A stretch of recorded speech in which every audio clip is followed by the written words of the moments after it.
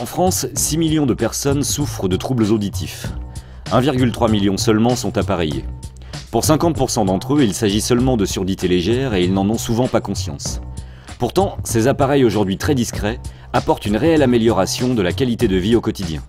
Les patients nous consultent euh, plus généralement lorsqu'ils sont confrontés à l'avancée en âge, mais ils peuvent aussi nous consulter pour des problèmes d'hérédité, d'exposition au bruit ou euh, tout simplement de maladie.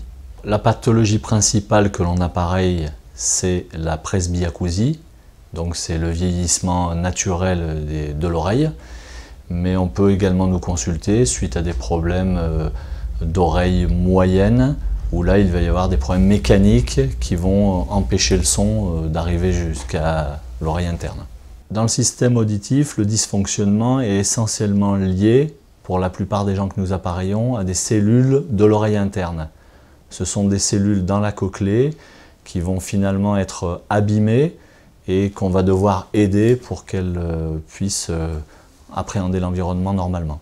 Ces prothèses vont amplifier le son de façon sélective, puisqu'en fait, contrairement aux idées reçues, elles ne vont pas amplifier tous les sons de la même façon, mais elles vont amplifier que ce dont on a besoin, et elles vont permettre de rééquilibrer la perception des sons chez le malentendant pour lui faire percevoir l'environnement correctement. Ça permet à nos patients d'améliorer leur qualité de vie essentiellement parce qu'ils recouvrent la totalité des sons et par conséquent ils se replongent dans un environnement sonore qu'ils ont souvent oublié, voire perdu.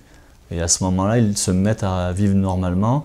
On a souvent d'ailleurs le cas des gens, et on considère que c'est un appareillage réussi, quand les patients reviennent nous voir en nous disant ben, l'appareillage que je porte m'a permis à nouveau de vivre normalement. Le suivi est très très important dans l'appareillage, effectivement, puisqu'on a besoin de voir nos patients régulièrement pour contrôler le bon fonctionnement de l'appareillage et surtout l'adéquation entre les réglages qu'on a effectués et les besoins du patient.